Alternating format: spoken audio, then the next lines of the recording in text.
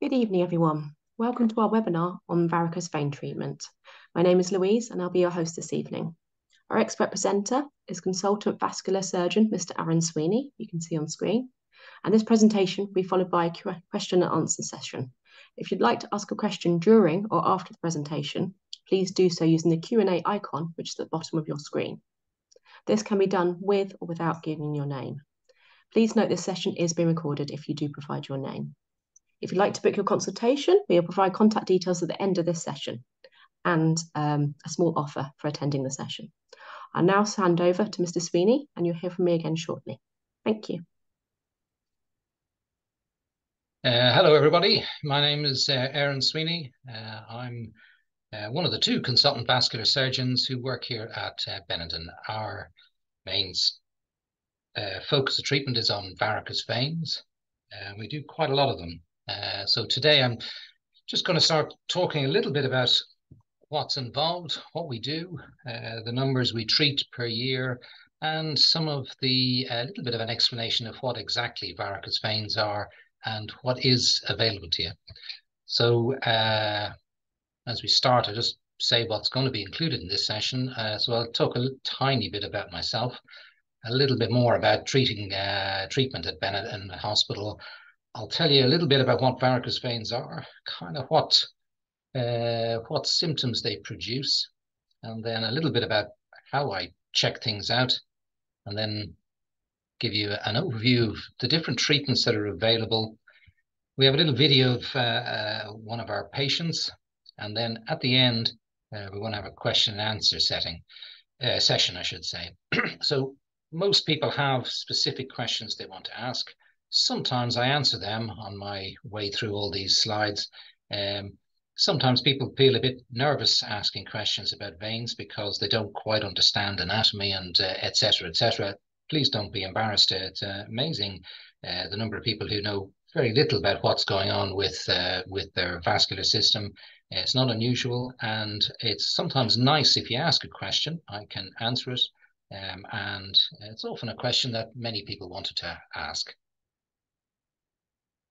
First thing, that's me. Uh, I'm a vascular surgeon, so I deal mostly with our used to deal mostly with arteries and veins. Now I deal almost exclusively with veins.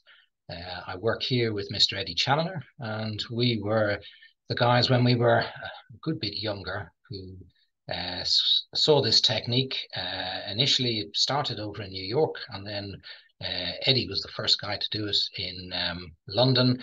I was the junior doctor then, uh, so I saw the first one ever performed here. And essentially, we both looked at it and thought, well, that's much better than stripping veins. And then it took a few years for us to actually get it up and running and working perfectly. So, like many new techniques, you think it's going to be fantastic, and it often takes three or four more years of research to actually get it to a level where you can you work out how to do it properly and safely, and also to make sure that it is better than the treatment that was there before. At Benenden Hospital, we do a lot of uh, varicose vein surgery. We are actually the largest uh, provider of veins uh, in England.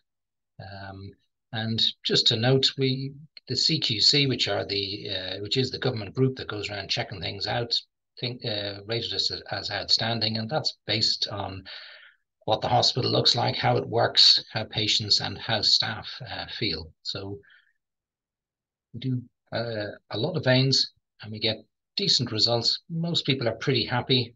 Um, like everything, there's always occasional patients who are a little unhappy because of an odd complication here and there, but most people, uh, we try our best to make it a fairly straightforward experience and fix the problem that you have. So what are varicose veins? I'll give you a very brief uh, insight into the anatomy of your vascular system. So your heart is pumping away and it'll pump into your aorta, which is uh, an artery. Your artery then heads on down through your chest, through your tummy, gives loads of branches, and then finally heads on down into both legs. The artery going into your leg is probably the size of your pointing finger, and it normally sends in about a litre of blood per minute. That means that a litre of blood per minute has to come back out again. So the artery has the advantage of having a pump and gravity. So everything goes down, and your arterial blood delivers oxygen and a lot of other stuff just to keep your muscles, etc., working. Your veins are trying to take all that blood and deliver it back up to your heart to be pumped again. I think it's helpful to think of your veins like a Christmas tree. You have one main vein that runs up the center of your leg. That's called your deep vein. And remember, that drains a liter, sometimes two liters per minute when you're exercising. And there are hundreds of branches. Most of those branches are draining muscle, um, and they have the advantage of being surrounded by muscle, so they can squeeze the blood up your leg. The ones that cause varicose veins are draining your skin. So in certain people with usually white skin like mine, you can see loads of blue veins under the surface. They're called saphenous veins. There's hundreds of them. They're nearly all like little shoelaces and about that size, and they all drain about a teaspoon or so of blood per minute. On their own, they're not that important, but altogether they drain your skin uh, adequately. Your skin doesn't require an awful lot of blood. Um, uh, but its main trouble is that these veins aren't surrounded by muscle. They're going uphill, and so they need some valves to keep everything going in the right direction. And a varicose vein happens when that one of those valves fails. So instead of the blood allowing everything to go only uphill, it starts to pour back down again. In the beginning, your other veins work a little bit of overtime, taking care of that, and so you don't get any symptoms. But eventually, uh, in about 75% of people or so, the other veins just can't quite manage. And so you start initially to get a little bit of swelling, usually around your ankle. Subsequent to that, it can get a little bit achy or sore. And then very occasionally you get uh, little clots forming in your veins. That's called thrombophlebitis. And sometimes people have veins for ages and they all of a sudden get a little bit of trouble. And that's nearly always because if you start some blood pressure medication, that relaxes your blood vessels. But if you relax the varicose vein, it gets bigger and then it suddenly becomes sore. Some things that you might not think of when you're looking at varicose veins, you sometimes see big, huge, chunky veins on certain people and that causes no trouble. And then other times you can see the tiniest little veins and you wonder why that person's having anything, any treatment. But some varicose veins you can't see very well because they're just under the surface and they often produce swelling to begin with, um, cramping at night, with that very heavy feeling towards the end of the day. Most people, when they lie in bed at night, the veins drain, so they usually feel they're cured first thing in the morning. And then as the day goes on, your legs swell, sorry, your veins swell, and any symptoms you get usually get worse as the day goes on. Yeah, so varicose veins typically cause more trouble in the evening, and they also cause more uh, trouble in hot weather because they dilate a little bit. And for ladies, they cause more trouble at the end of pregnancy and just before period time because uh, you guys get a little surge of progesterone, and progesterone dilates veins. Uh, so that's why your ankles sometimes swell and why your last trimester can be a bit miserable. Pregnancy doesn't necessarily cause varicose veins, but if you have them at the beginning of your pregnancy, it makes life a little miserable. So veins, think of them like a Christmas tree, hundreds of branches, most of them working perfectly, but it only takes one, and then that fills up with blood and puts a bit of back pressure onto your skin, either makes it swell, makes it swell or itchy. So how do you treat veins? Well, first thing is you don't necessarily have to rush and do anything. If you're not having much trouble, you can leave them be. Most veins don't cause any great trouble. Uh, but the older treatment used to be to do cuts and disconnect uh, where the branches join the main uh, vein and then you put a little wire inside and pull it out, and that's called stripping. and that's a pretty uh, brutal operation. it was a pretty brutal operation. I used to do it as a junior doctor. It worked, but in half the people, the veins used to come back. And that, it didn't matter really if you did a great job. Uh, when your body was trying to heal itself, it produced new veins. And that's why 50% of people uh, got recurrent veins after stripping. And it's why operations for varicose veins uh, got such a bad name uh, because people thought it was fairly useless. Once you've lasered a few veins, you realize that that kind of recurrence level is uh, is reduced dramatically. Uh, it's probably no more than one percent, and the advantage in doing uh, laser treatment is that you can mostly do it under local anesthetic. Uh, we can treat almost everyone with a laser. And uh, the other important thing, just on the slide there, is that we do over a thousand of these a year. That tells you that kind of we're reasonably good at doing them, and everyone around us is reasonably good at dealing with them. Uh, so that's the nurses, etc., are all used to that procedure.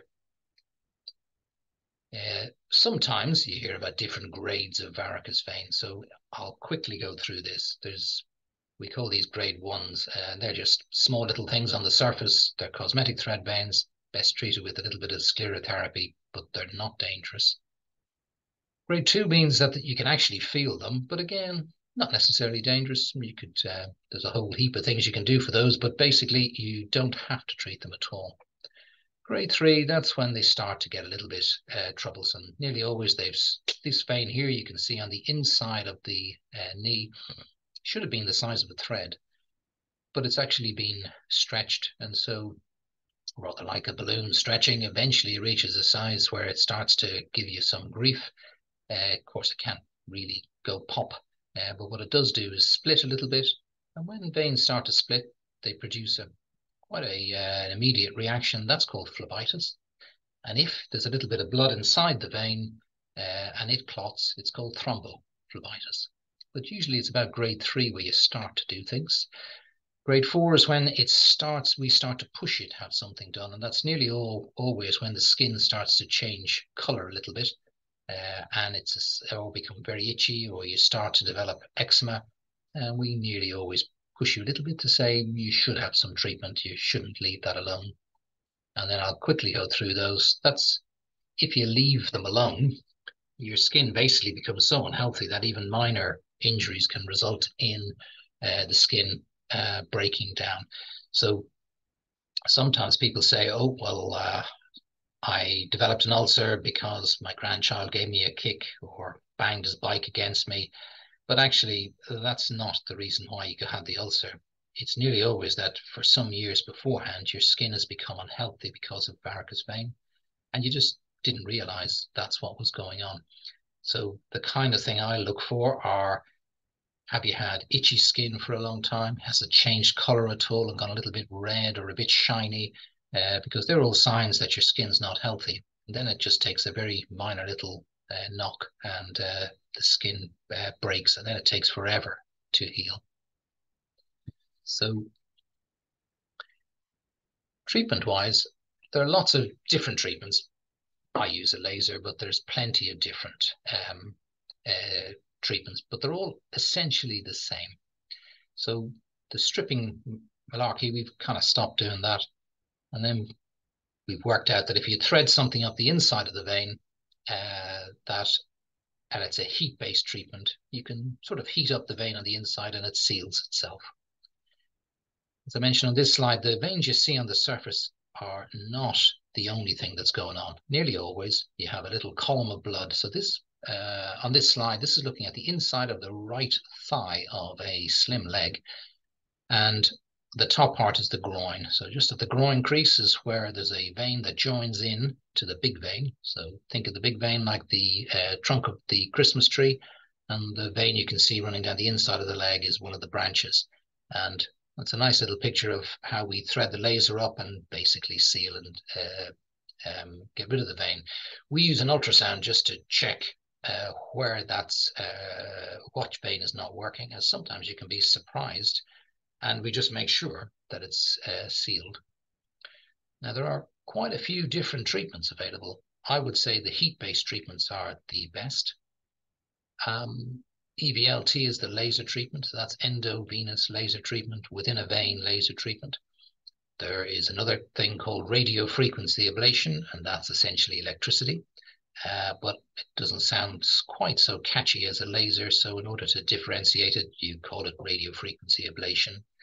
And then there are a few other treatments where you inject something into the vein. So with a laser or radio frequency ablation or even a um, microwave therapy, you're threading a little tiny wire up the inside of the vein to damage it.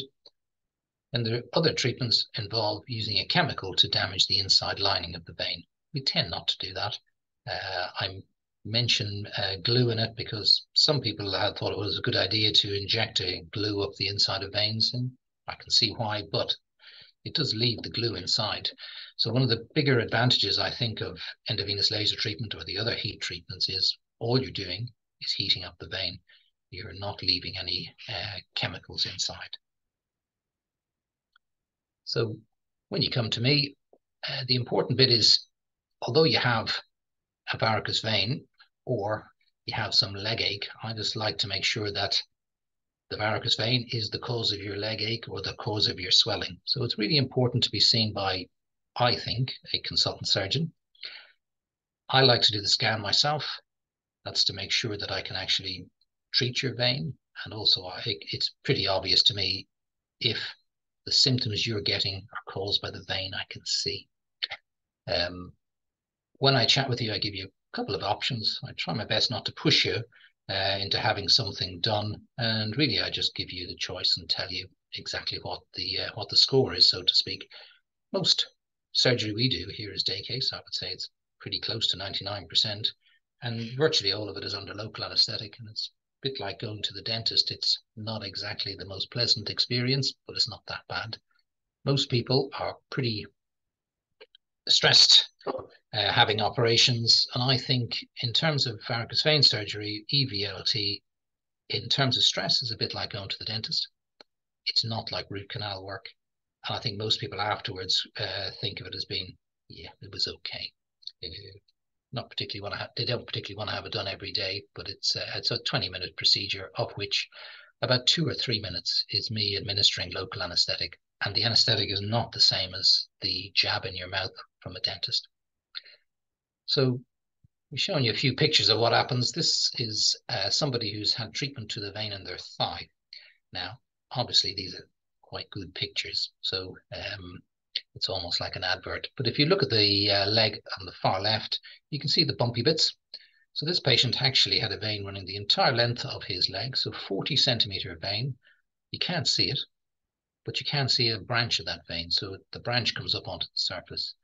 So all we did here was we lasered the vein running up the inside of the leg, uh, and that's it. We didn't touch the bumpy bits, um, and that relieves the symptoms fairly quick. And as you can see, two weeks or so afterwards, the vein is deflated, and about six weeks, it looks okay. But I think there's a few little bits there. So sometimes people just want to get rid of the ache and pain, in which case we thread a little laser up and down.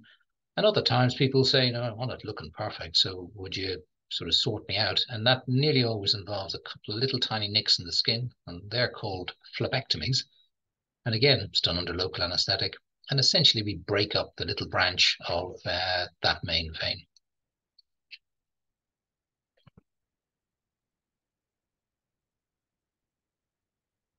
So I hope I've explained that reasonably well. So just think of your veins like a Christmas tree. One branch is not working correctly. We thread a little laser up that branch, damage it um, with heat.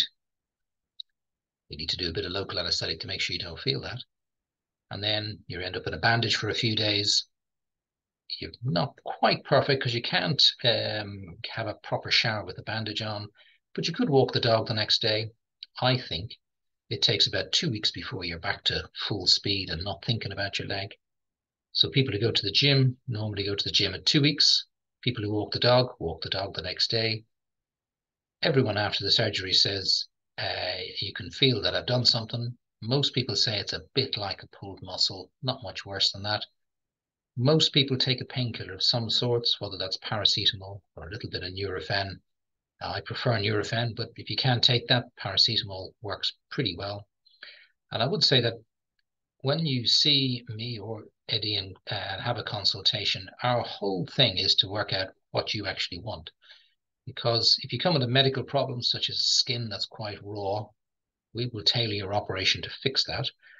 Other times people come saying, well, they want everything to look perfect. And I'm happy, very happy to treat that as well. It does involve a slightly different treatment plan. But the most important thing we find is that because we do over a thousand people per year normally, the most important thing to me is that people don't have complications. That if you come for a problem, you fix the problem, and the patient goes away and forgets about you a few weeks later. Uh, we don't over-treat people. Uh, and likewise, uh, we don't undertreat you. So we just basically, I think it's really important having consultations because you work out what the problem is, can you fix it, and what's the safest way of uh, of sorting that out. So we do have a patient testimonial. This is uh, a lady who has um, had treatment here.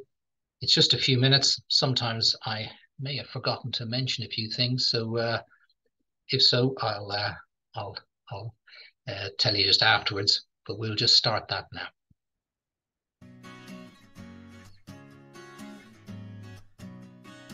My name is Jo Crossy. I'm 58 years old.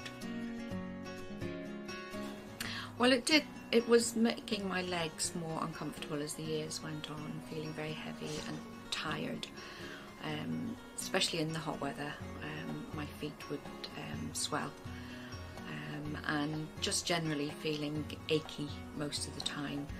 Um, I did start working part time, and part of that reason was probably unconsciously thinking, actually, I, I can't keep on my feet all day long, every day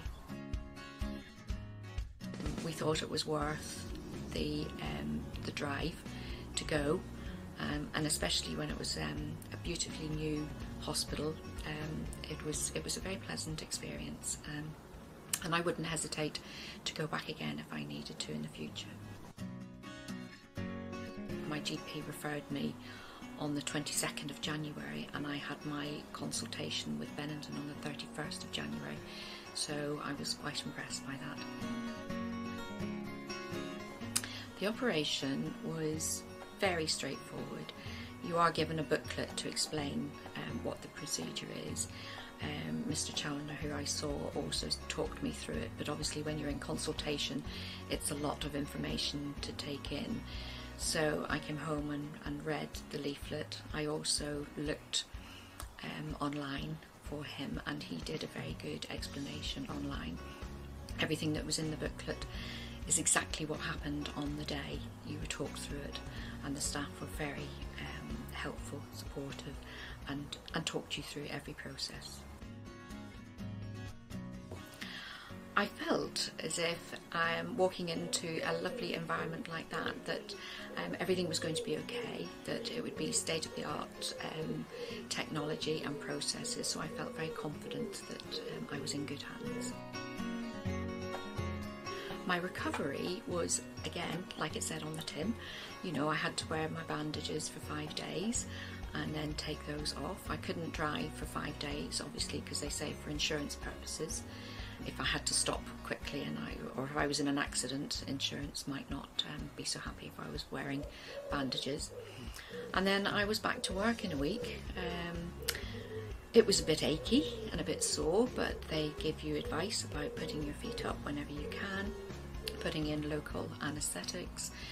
Uh, sorry, rubbing in local um, anaesthetic gels, wearing a support bandage if I needed to, and I did that a few times because the weather was quite warm um, post um, surgery, so I, I, made use of, of those um, devices and advice, and it certainly helped. My life now has changed in that I, I'm not feeling the, the, the heaviness in my legs. Um, and I have been wearing shorts out and about, which I hadn't done before, so it certainly boosted my confidence in terms of that. Um, and yes, getting back to running after two grandchildren. If anybody was thinking about having their varicose veins done, I would recommend the Benenden Hospital. Their technology and, and the processes they do is it's um, it's just laser treatment is the way forward um, in terms of not making you lie in a bed, getting you up and getting you mobile um, certainly Benenden Hospital is uh, highly recommended as far as I'm concerned.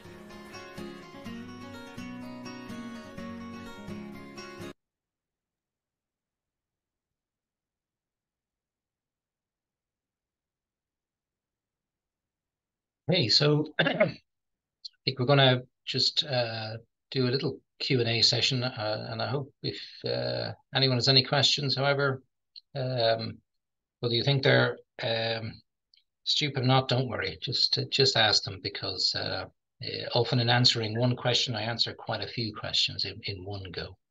Mm-hmm. Thanks.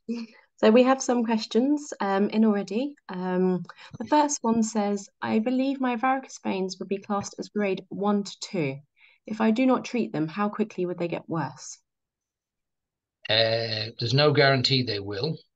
So uh, I think it takes up to 10 years from the time somebody um, sees a little varicose vein uh, to uh, when they become quite easily visible or sore. So you might say varicose veins are often thought of as purely cosmetic. I would say that's not really true. So my plastic surgery colleagues, their busiest time of the year is January, where everyone decides this year they're going to fix things. Uh, vascular surgeons and vein surgeons, their busiest time of year is at the end of summer. That's not because people don't like to look at their legs, it's because they become painful. And when you ask people, when did they start being painful? Nearly always it's taken many, many years to get there. Most people who have varicose veins have other things to worry about. So if they're not that sore, they often wait and wait. Um, and if you have little kids or whatever, you're just too busy.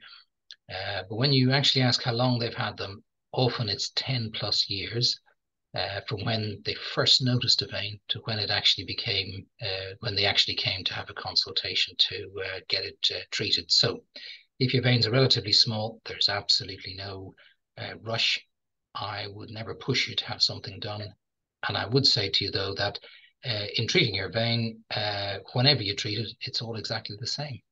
quite often, the veins are much the same size when they just start um, it's just the branches of the vein that's not working get a little bit bigger. Often the vein running up the inside of your leg or sometimes in the back of your calf uh, is moderately large, but the bits you see on the outside are only quite small.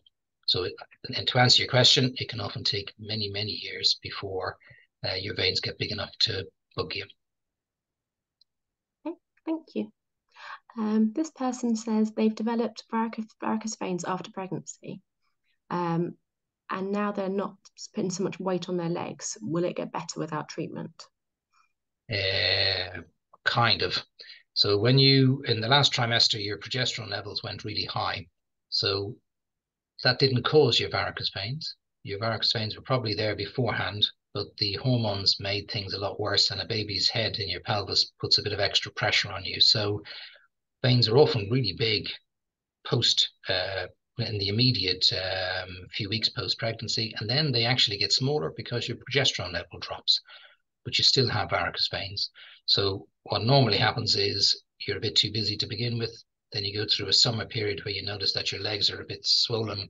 Um, but it's rare for somebody who has varicose veins at the end of pregnancy not to, unfortunately, keep them. Uh, the little valves that keep everything going uh, uphill are really flimsy, and the moment they break, they don't repair themselves. So it's just a case of um, waiting until the vein gets a little bit bigger. So unfortunately, post pregnancy, if you have varicose veins, I think you'll keep them. Uh, it's just a matter of time before they get a bit a bit bigger. Thank you.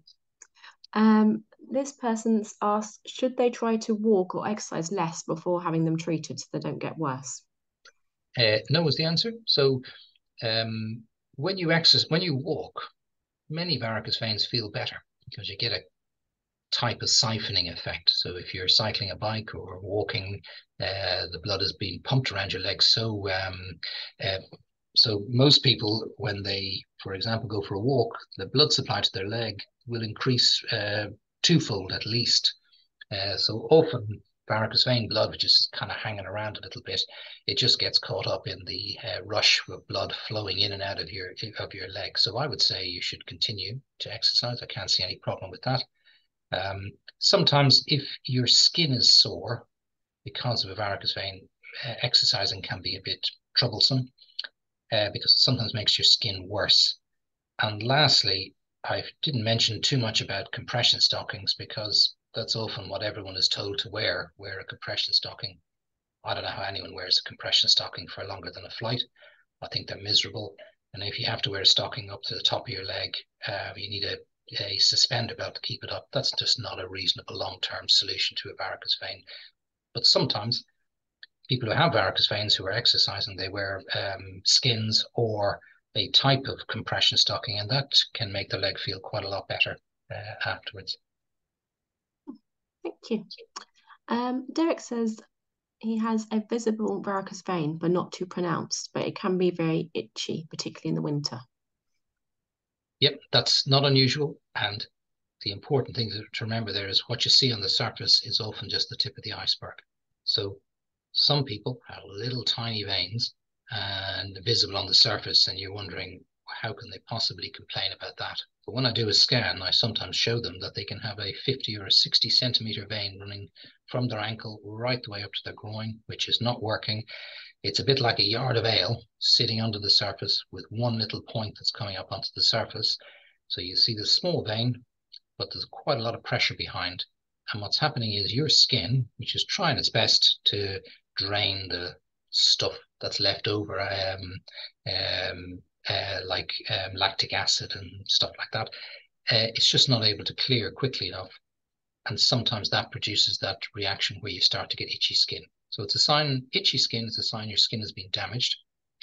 And nearly always there's quite a, lo- a large vein under the surface, which you just can't see, especially so in blokes, because our uh, skin is a bit thicker because we have testosterone. Girls have nice female um, um, hormones, which cause lots of trouble in other ways, but it give you soft skin. But that soft skin is means that veins are much more easy to see. So blokey, hard, hairy skin can hide an awful lot. Great, thank you. I never knew that. um, I have thread veins only, no clear varicose veins. Can these be treated more easily than the EVLT procedure? Ah, thread veins are actually more difficult to treat than varicose veins. And the reason is that thread vein treatments, there's quite a few of them. The reason there's quite a few is because none works perfectly.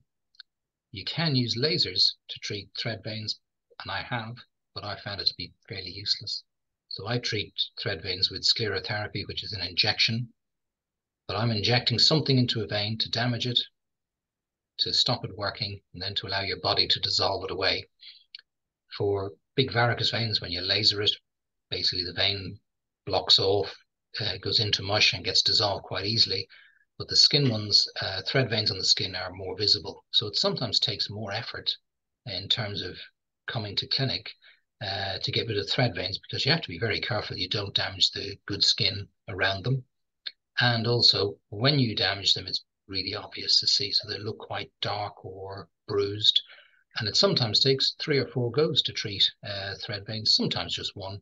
Uh, but I would say that whilst they're two kind of separate things, and I'm always very careful with thread veins to tell people that, first of all, it almost never works with just one go sclerotherapy.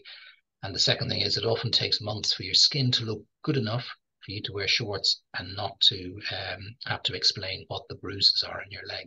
So there is a period. So from my point of view, I've always found thread veins slightly more difficult to treat just because I'm telling people that it takes months uh, to get a good look Whereas varicose veins, I would treat them, and two weeks later, uh, they're back in the gym doing their stuff, feeling better. Um, they may have some bruising, but they're uh, back to normal, so to speak.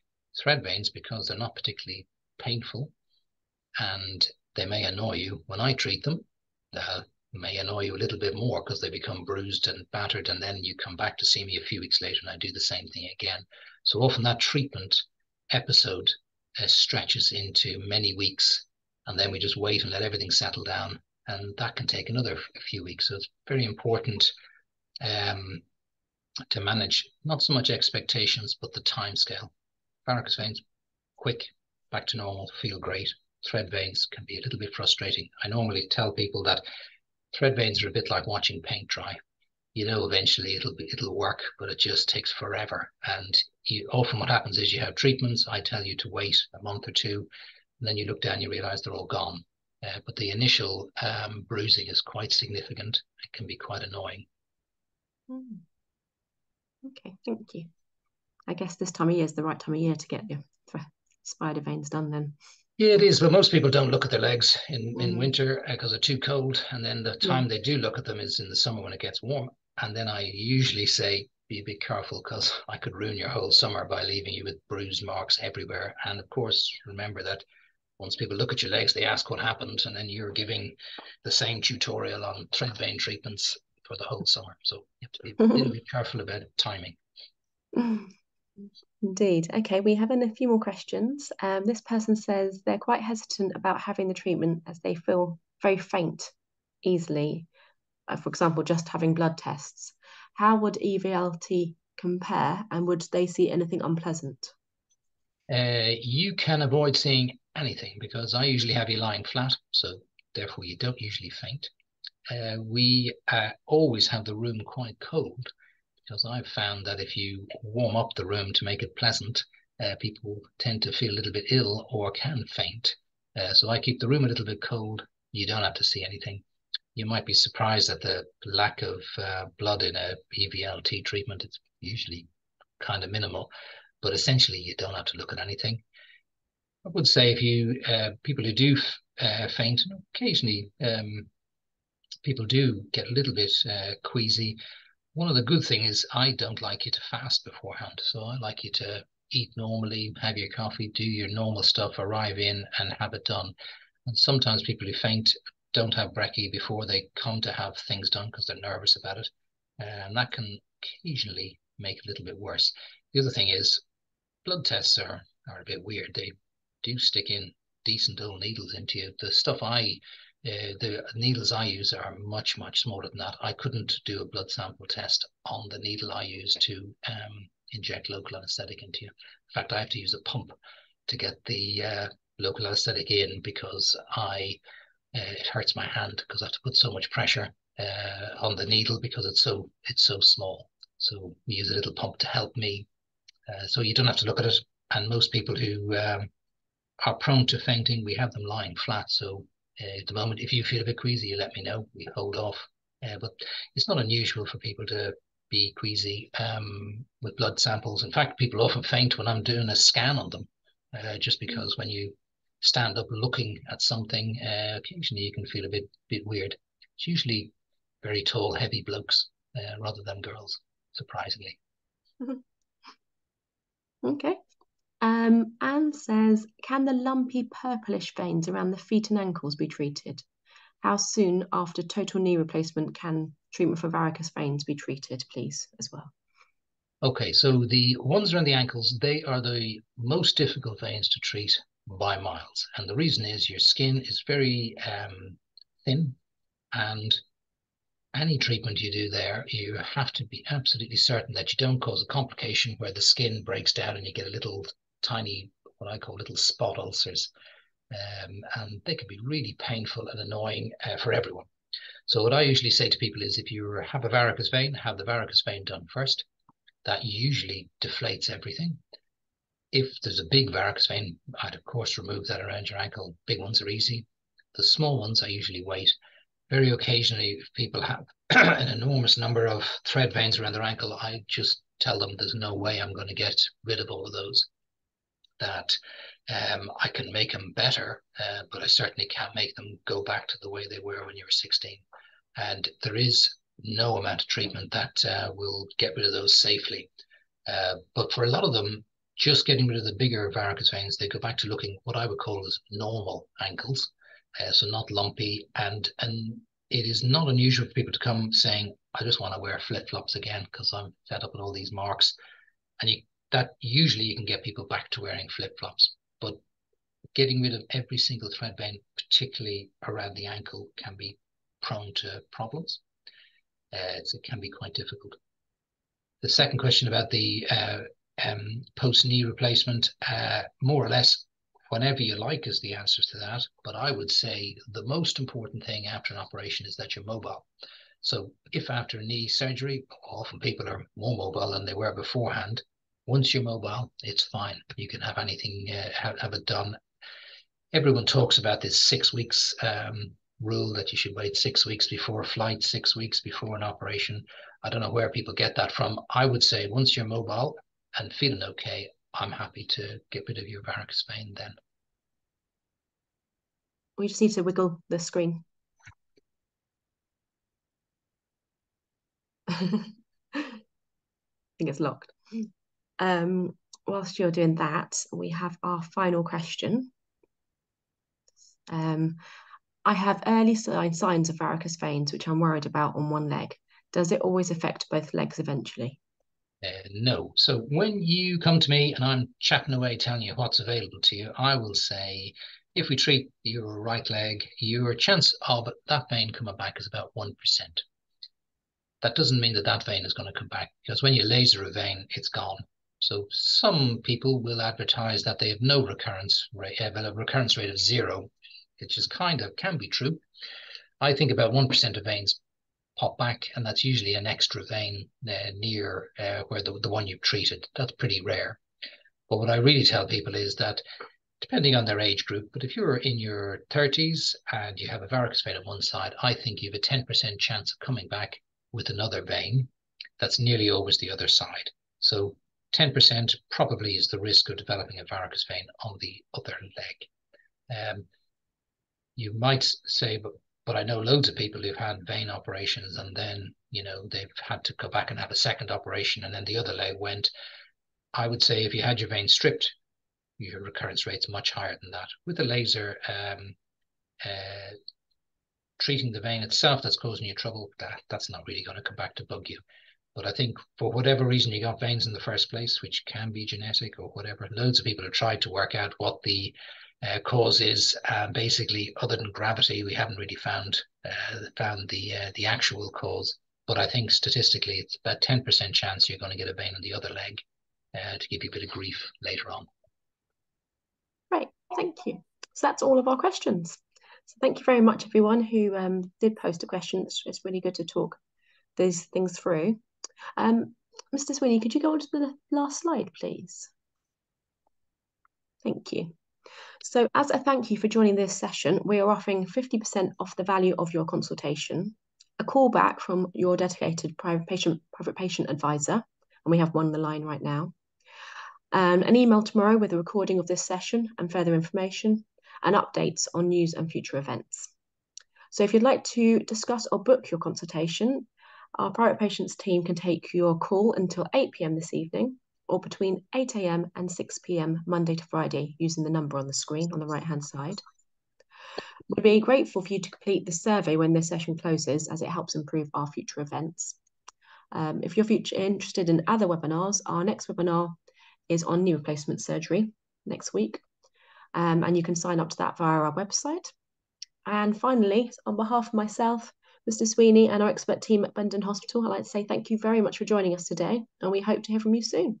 So thank you very much and goodbye.